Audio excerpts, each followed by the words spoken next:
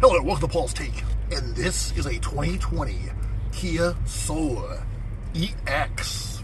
It's powered by a 2.0 liter, 147 horsepower motor. These things get so much praise that I want to check it for myself to see how it is.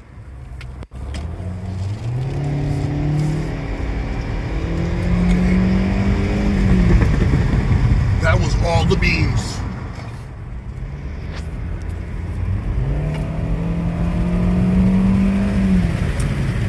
It's definitely, I wouldn't say fast, but it's not really a, I don't think people buy this car because it's supposed to be sporty. I think it's powered, I mean, I would say it could use a little more power, but isn't bad. Isn't horrible for what it is. It's got a nice interior. It's comfortable, nice ride height, very great visibility. So, it's not bad. It's quick and nimble. Hit the gas. Let's go fast. It's not a race car. Take it easy. Take it easy, greasy. Just cruise it. Just have fun with it.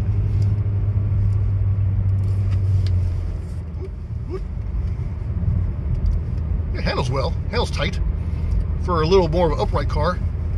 Feels good. I like the car that sways a little bit.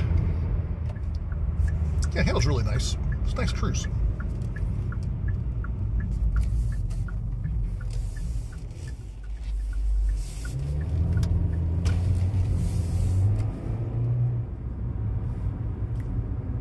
It's a nice car to go drive it to the sunset with. With your best friend and your dog named Spot.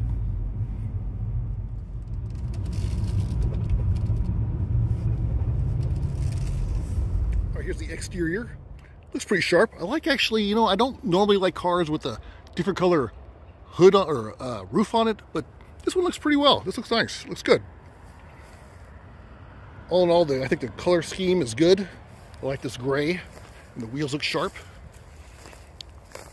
This is probably one of the nicer looking souls that I've seen. It looks good in this color. And this front end looks cool, pretty fancy looking. Not over the top, I would say. LED lights all around the front. Slick. Fog lights with the LEDs as well. That's cool looking. Kind of stealthy looking. Something.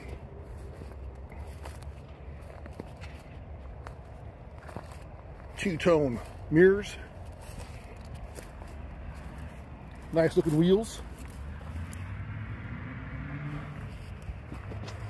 You got soul when you're in this car.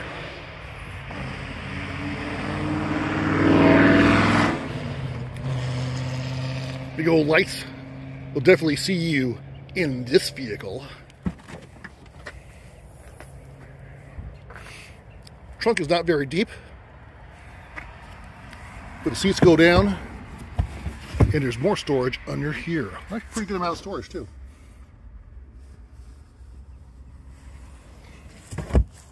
Let's check out the interior space. Back, cloth seats, plenty of headroom. Oh my goodness, so much headroom. And even sitting behind myself, I have plenty of leg room. Couches on the back of the passenger seat. Door handles look modern. Here's the view from the back to the front. More of that texture there. This one has power seats. Cloth, look good. It blends almost with the vent. Kind of cool. Steering wheel, Kia. Phone. And this is your cruise control. Let's turn this thing on. Touch button somewhere. Where's oh, there it is. Got integrated maps. What? All right, it says 160 miles an hour in speedometer. I don't think so. Gauges look good. I like the white analog gauges. And in the middle, it's got digital speedometer. It's got a nice design. Very clean looking. You know this reminds me of? Like a perfect car for Ubering. Because it's good on gas, Got plenty of space. It's comfortable. Ooh, it's got heated seats and everything. Drive mode. What? Sport. Normal. Sport. Normal. Sport. Love it. Engine start. USB ports. 12 volt as well, right there. Nice, easy to read climate control. In the maps. Nav. Radio. Media. Media. Media. Nice fence. Go back to map. Cool. All right, so my take, I like it. It's a nice car for what it is. It's like a people mover. To me, it's like the perfect Uber car. This is the Uber car. Well, when I think of Uber car, this is it right here because it's like it's got a lot of room. It's open, easy to get in, easy to get out. You don't gas. It's quick, nimble, great visibility. It's like a fun little, uh, like I don't know, little eco, eco economy car. I like it. It seems it's fun. Um, will it last forever? I don't know. I, think Kia's got good reliability ratings. Um, so they got a great warranty for the for the new ones. So all in all, I think it's a nice car. I would uh, I wouldn't mind one if you want to give me one. Would I trade my Jeep in for it? No, it's not four wheel drive. It's not lifted. It's not crazy, but it's good. It's good for commuting. I would definitely would not have a problem. And it's a nice view out the front window. I think the, the visibility and the uh, kind of you're a little bit more up higher up a little bit. You see a little over like versus like a regular car. You're a little bit higher up. So I like it. If you get one for a good deal, I say why not? All right, well, anyways, not?